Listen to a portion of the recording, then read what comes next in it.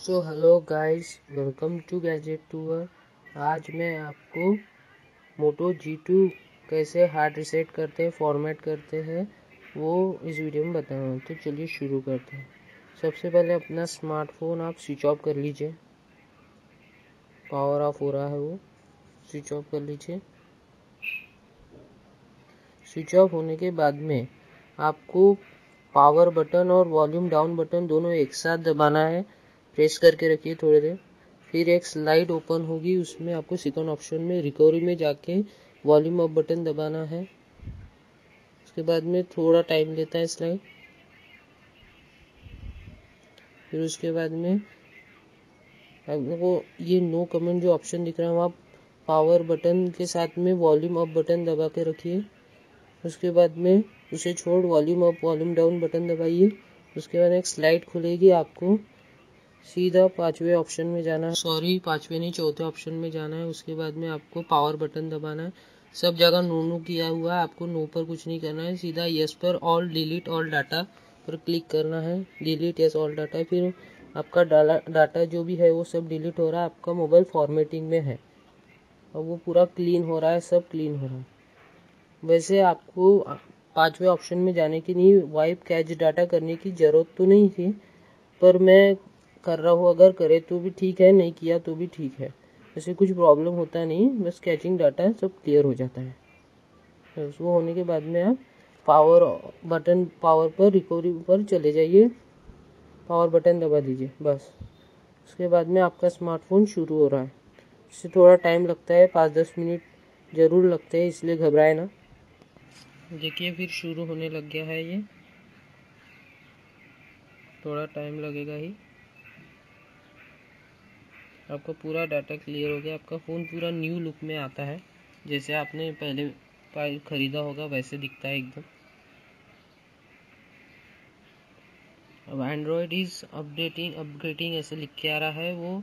जितने भी ऐप है इसमें उनको सबको ये कर रहा है वो स्कैन कर रहा है, देख रहा है। प्रिपरेशन कर रहा है वो। धीरे धीरे एक एक ऐप देखता है, उसे भी टाइम लगता है। फिर उसके बाद में लैंग्वेज आता है आपका। इंग्लिश कर दीजिए इंडिया का लैंग्वेज अपना, भारतीय लैंग्वेज इंग्लिश इंडिया करके नेक्स्ट कर दीजिए।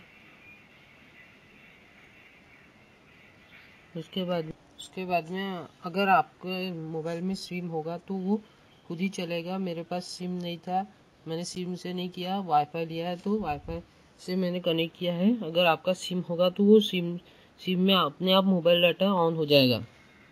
सो मैं तो सब प्राइवेसी पूछता है। आप सेप्ट एंड कंटिन्यू करते जाइए नेक्स्ट स्लाइड पर जाएगा वो। जस्ट सेकंड बोल रहा है वो।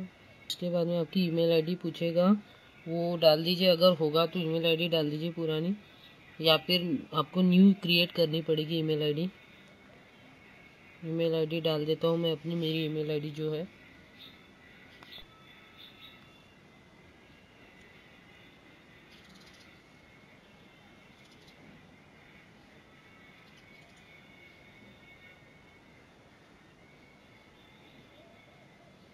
उसके बाद में वो पासवर्ड भी पूछता है पासवर्ड डाल देता हूँ मैं अपना वाला।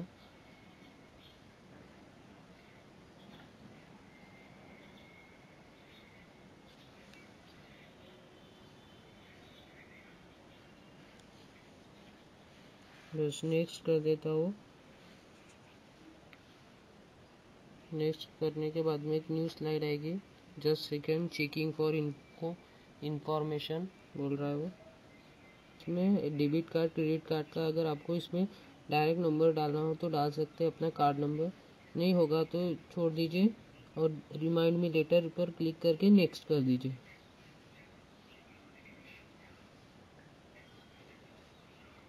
उसके बाद में नीचे नीचे जाइए, सब पर अपने आप क्लिक ही रहता है।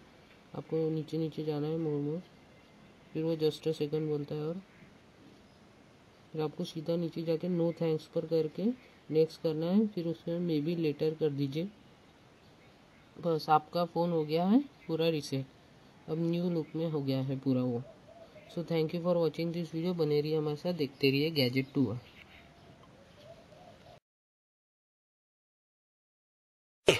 ये ये करके दिखाओ। ये, फिर ये। अब ये ये ये करके